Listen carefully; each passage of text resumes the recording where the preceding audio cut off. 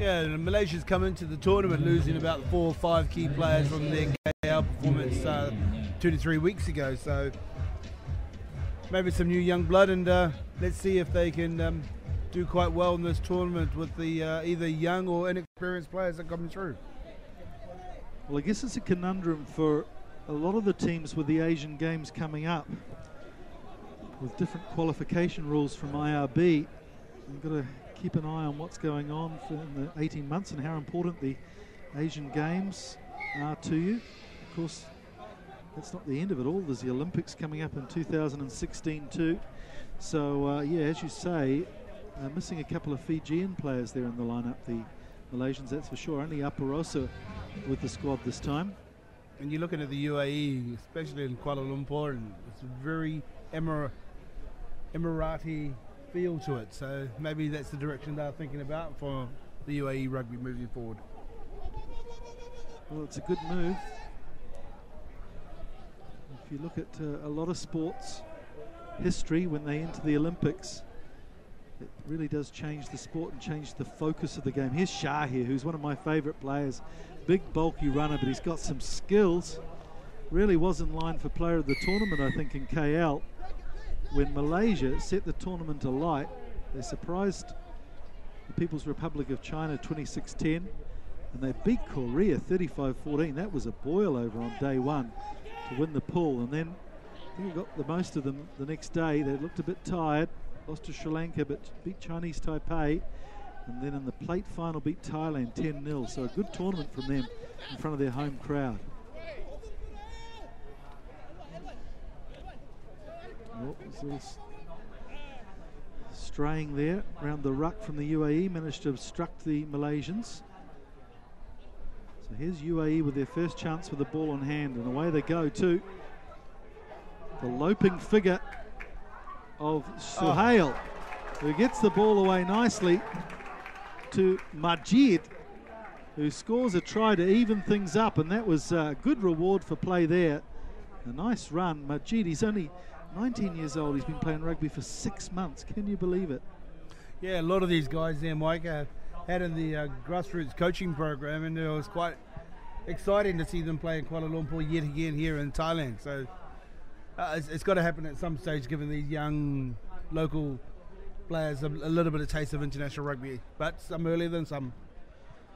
As you say, there's a real green field to the UAE team, but they've got an experienced uh, master in the form of Apali Langiloa, who's coached Fiji at IRB sevens level and spent 40 years coaching the game. So they've got a wise old head to teach them the rudimentary skills of the game, that's for sure.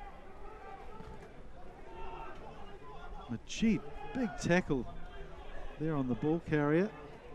Certainly not lacking in bravery, that's for sure. And he takes on Aparosa seconds later. And uh, apparently this young Majid is one of the favourites of the coach, the Pally. One of the fastest guys in the team, a law student. And already you can see they've picked up some lessons from KL, can't you? There's not the naivety, as much naivety as there was in the, the first round of games they played.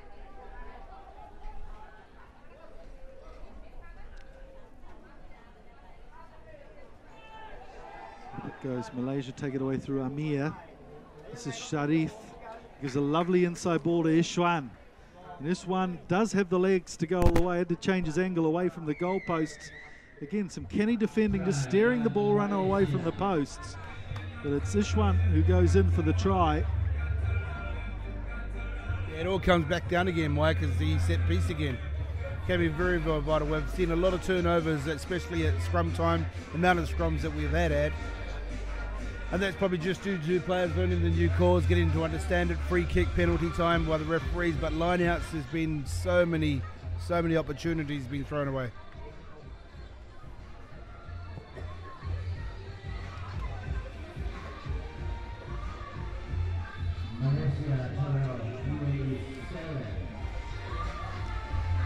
The other team in this pool is Korea, South Korea. And they were one of the improvers over the KL tournament. They started very slowly, but uh, paced themselves well. So free kick here for UAE. The score's 12 points to 7. So UAE need to stay in touch here just before half time.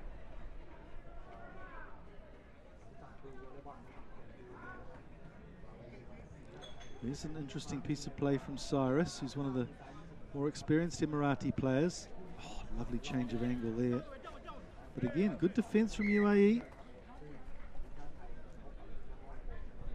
Right, let's put the pressure back on the Malaysians. And yeah, nice little step to get out of that first tackle, but uh, good cover defence by the UAE.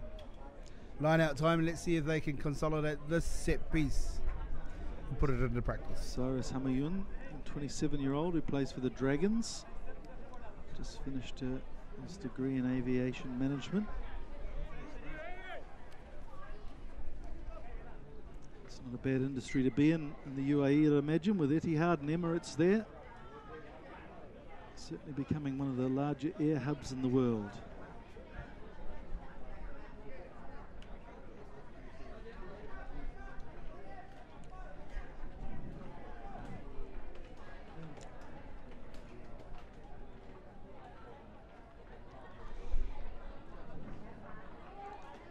Just on the cusp of half time.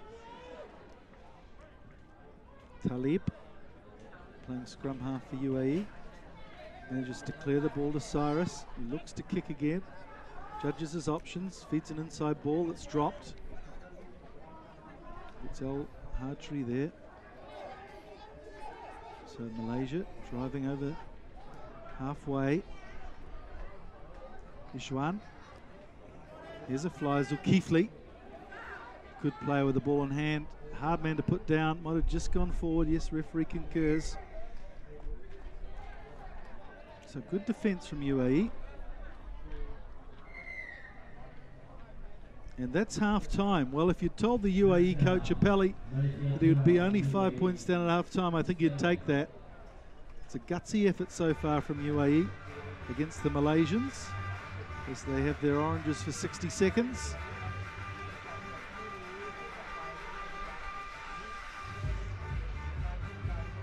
Confirming the score at half time 12 points to 7 to Malaysia.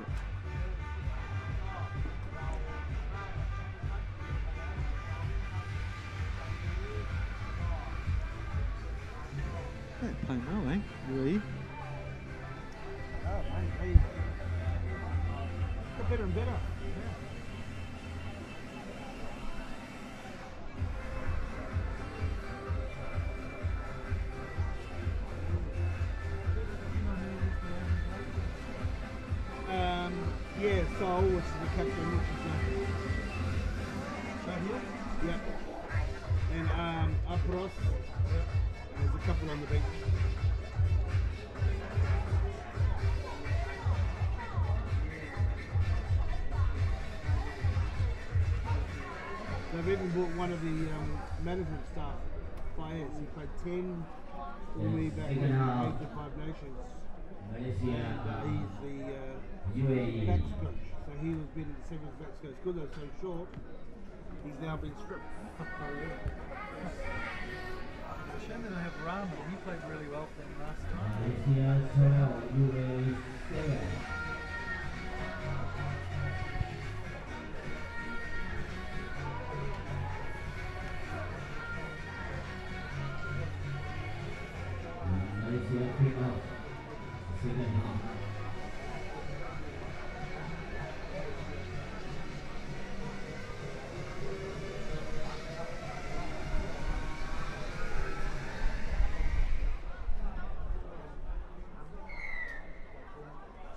Off we go for the second half. Malaysia five points ahead. Well, some good football skills there from the Malaysians and uh, interesting tackling there. The man without the ball, Cyrus gets it out to the left. Let's see what they've got on the outside. Oh, shame he couldn't get it in his hands. Had a little half break there. So Malaysia with a chance to score first in the second half with a scrum just outside the 22. Yeah, nice pressure on on the uh, the kick from Malaysia. So um, now they can just camp down with their uh, the UAE half.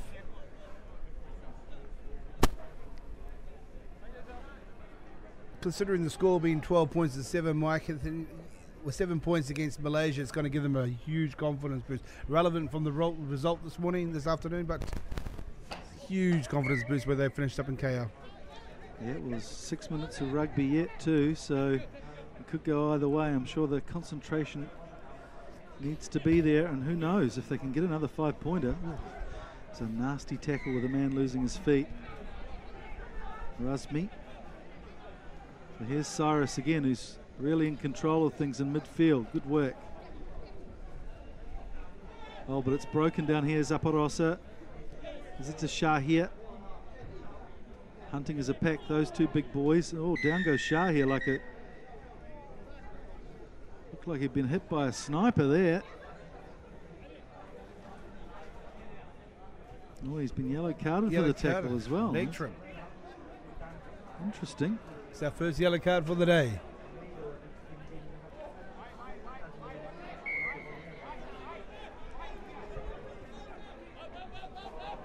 So a one-man advantage now for Malaysia. Aparosa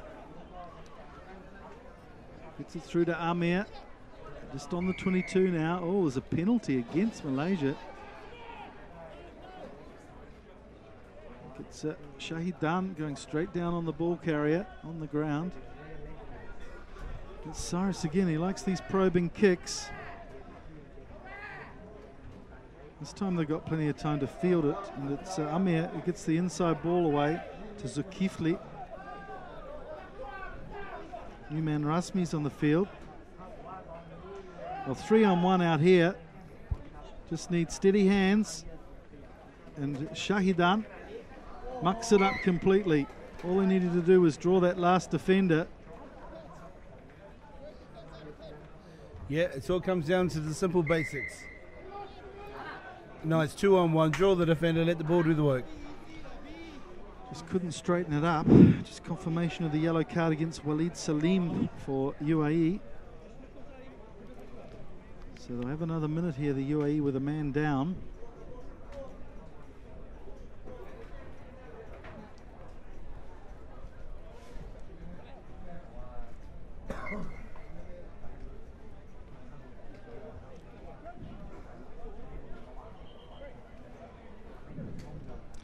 Defensive scrum here for UAE and uh, managed to get the ball back. A lot of pressure though.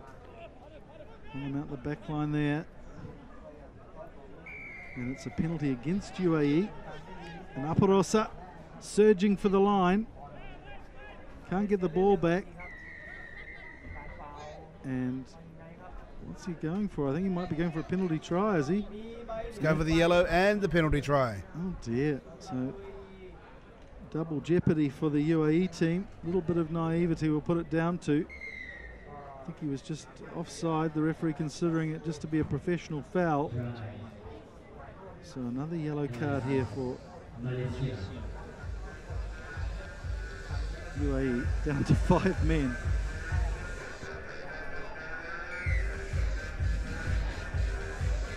This time it's Gulam who goes down. The good news is that Salim's back. He's been subbed straight away, so Abdullah comes on for him. So the penalty try is converted Amir. It's 19 points to 7. Sigh of relief there for Malaysia. There's a few nerves on the Malaysian bench there while the score was within 5. Shahidan restarts. Might have gone a bit long here. So it'll be a free kick to. UAE.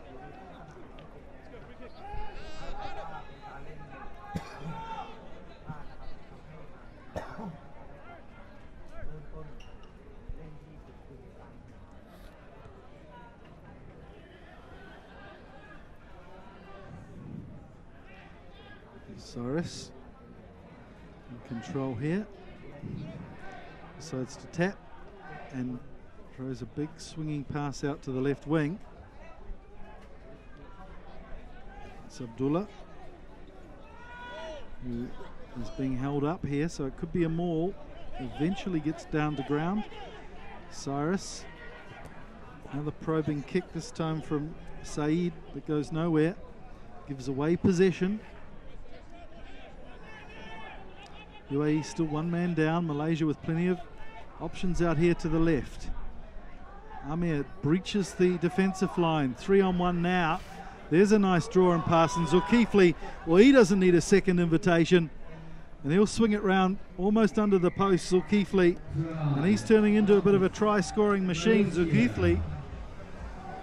Yeah, great work there from that uh, first ruck there. and just just good clear out, committed the numbers, the ball did the work.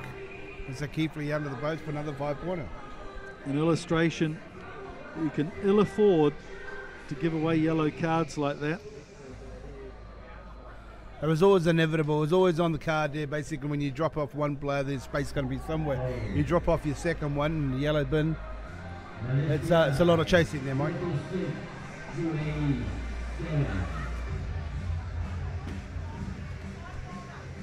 So how quickly can the scoreline blow out? Now that UAE are back to their full contingent of seven players,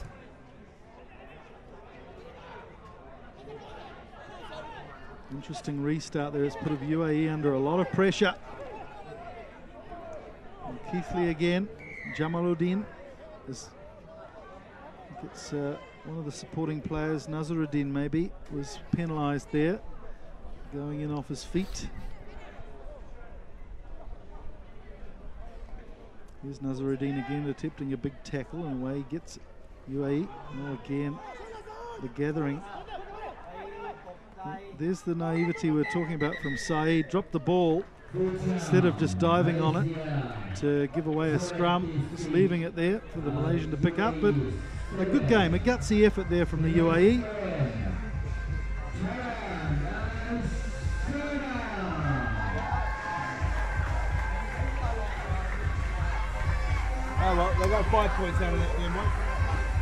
Final score Malaysia 26, UAE 7.